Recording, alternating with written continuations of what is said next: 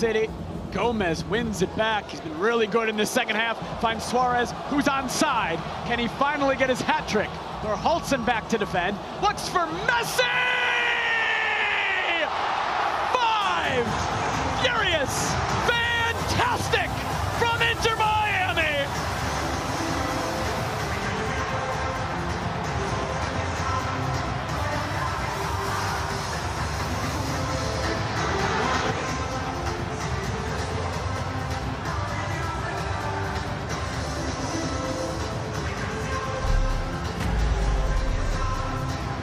As disappointing of a performance you will ever see in Orlando City history. You turn it over, but no pressure on the ball. Gomez and Suarez running as free as they can. And how about the quality in the final third?